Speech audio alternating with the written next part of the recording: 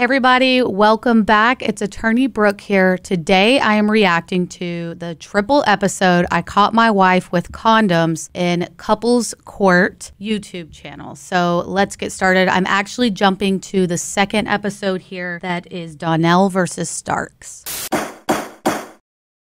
Been together 14 years, you have a family. But cheating allegations have caused you, Miss Donald, to seek information regarding a divorce from Mr. Starks. Yes, Your Honor. Tell me about why you've opened your case. Two years ago, uh, we got into an argument, and he left that night. When he left, um, he was down the street with a friend. And the next morning, when he comes home and he's explaining what happened that night, he told me, when I talk to her, don't believe whatever she tells me. Okay, number one red flag you're married for 14 years and you don't come home at night and then you come home in the morning. You got me up if you think I'm letting my husband stay out overnight somewhere. And since then, I've just, it's little things that make me feel like he's cheating with my friend. The situation she's talking about, I, um, I did leave. Also, I'm a little stressed because there's two judges behind the bench. You know, never have I seen a situation where we have two judges presiding over a case, but hey, I'm with it. The young lady that she's pertaining to was down the hill. Her cousin gave me a ride to my mother's house. Mm-hmm. That's the only contact I've had with that woman in 14 years. But you knew something was going to pop off. That's why you went back home and said, whatever you hear, don't no, believe it. Hold on, Your Honor. That's what she said. You don't. You deny that. I happened. do not recollect saying anything like that. So what are you here to prove today? I'm here to prove that I love my wife. I'm here for her, and that I'm not a cheater. I believe in Jesus Christ. I got married one time, and I'm not a cheater. And I'm standing on that. Bottom line. Ain't no more lines. Well, I'd say that was a solid opening statement there. Ms. Donald, that you have gone to see a divorce attorney.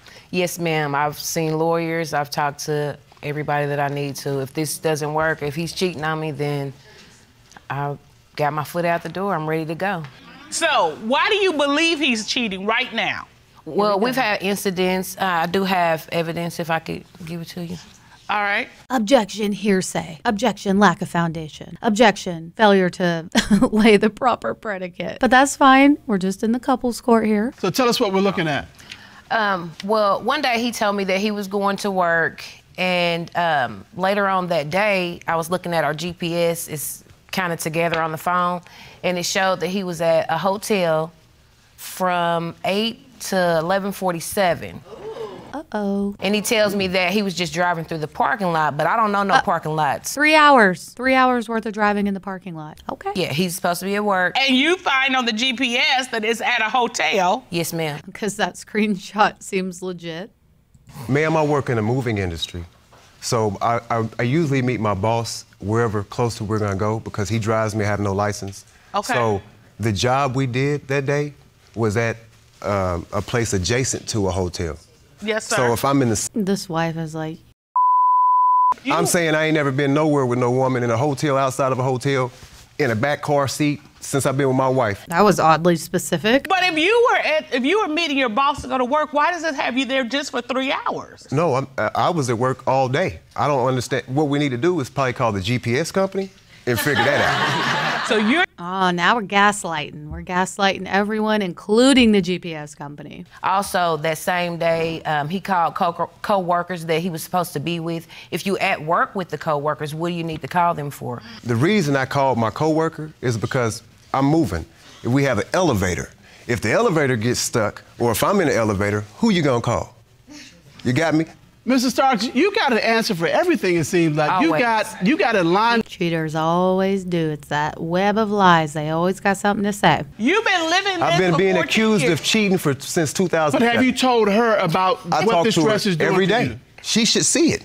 That's my wife. Okay, whether or not he's cheating, let's just say for conversation purposes, he's not cheating. It would get pretty old to have a significant other that's like constantly pecking you and challenging you and nagging you based off of their own insecurities because they don't want to trust you. And if she's been doing this that long term of a duration for several years, yeah, I would be pretty irritated too to be constantly be accused of doing something I'm not. He don't see the stress that he causes our whole house. What is your reaction to that? My reaction is I'm here. I've been the same person since I've met my wife. I've never, well, there's been a, a situation in 2004 or 5 where I cheated on my wife. We were dating then. There it is. Broke the trust in 04 and 05. You were dating. We were then. dating then. We were three months, four months together. And he cheated on me And for a year. This has been two years. Okay, hold up. I'm not one to judge, but if it was me personally and I had been dating my soon to be husband for over a year or what have you, and he had been cheating on me for over a year, and then you choose to go and marry that man, you, my friend, signed up for that type of marriage. You knew the kind of pig he was before, and you chose to marry him anyways. I don't know, not feeling so bad for you now. But okay, so you had cheated in the past. You admitted it. You took him back.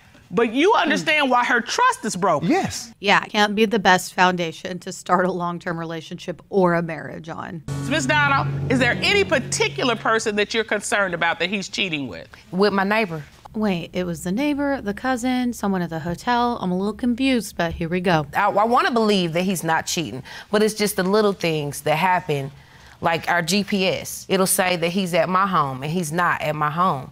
So But that's she's- saying that the GPS ain't working. Or you're leaving your phone at the house because you know your wife is tracking you and you're trying to be sneaky about where you're at. You brought an exhibit to demonstrate what you're talking about. Is Yes, that sir. right? Yes. Okay. Would you step to the monitor, please? Okay, we we were into it that night. So he went to a friend's house, and I wanted to, you know, reconcile that night. I wanted him to come home, so I go out to his friend's house. At 1:45, I get there, and we sit for a minute. You know, I asked him if he wanted to come home. He said that he wanted to stay because he could get to his job better that way. Although I could have drove him. So I leave, and I get home at 2:27. Mm-hmm. Later on that night, my phone pings from his phone on the GPS, and it says that he's at my house at 346.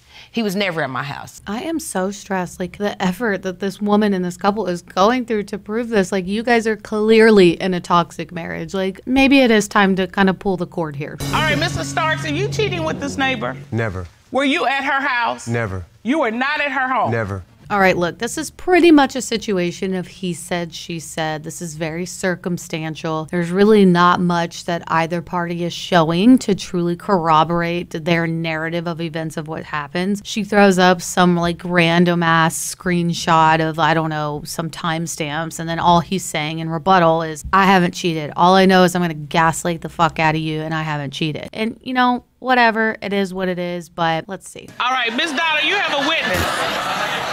2005 and 6. eh. In between five or six.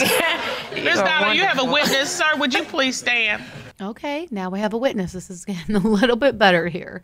A witness. Would you please state your name for the court and your relationship to the parties? I'm Randy Donnell. This is my sister. All right, Mr. Donald, can you tell us, do you believe your brother-in-law is cheating, and if so, why? I have reason to believe he's cheating because uh, there's a lot of things that don't add up, and uh, I was present for most of them, so Have you seen him with the woman in question? definitely. I'd go outside and you know they having a good conversation. I'm, I walk up and everything stops and you know they split ways. There's even been a time where he said, uh, "I can't even talk to my neighbor," and Right. Why do you got to be sketchy and stop talking? You know, that situation, anytime you walk up to a group of people and it gets quiet, you know, without a doubt, they were talking smack about you or they were saying something they weren't supposed to be doing. times, you know. So you, because you've seen it more than once, it's so noticeable that they must be talking about something they they're doing. Right. You know when people. But also, can I just say, just because you think a sketchy conversation is going on, they're saying something they're not supposed to be saying, that doesn't equate an equal cheating, nor does that equal adultery. So let's be cautious here with this type of testimony. Yeah. And, you, And when you as come into a room, then it just everybody stops talking. Yeah. Right. All right, thank you so much, Mr. Donna. Donnell. Sit down. Literally the most worthless testimony I think I've ever seen, but it is what it is. Well, because of this, this court has done a complete investigation of this matter. Okay, first of all, a court would never conduct their own investigation. I get it. This is for entertainment purposes. But your narrative or your evidence or your facts of the case based on your own sole testimony or exhibits that you prepare, and a judge is just sifting through the facts. The judge is a fact finder at this type of, of proceeding. So a judge isn't going to ever conduct their own investigation, but I am curious to see what they have done here. Good day, Ms. Cisco. How are you? I am well, Your Honor. How are you? Doing good. It's good to see you. Thank you. It's good to see you as well. Would you state your credentials, please, for the court? Yes, Your Honor. I am a former Department of Defense certified military interrogator who has interrogated members of Al Qaeda and Taliban Hello.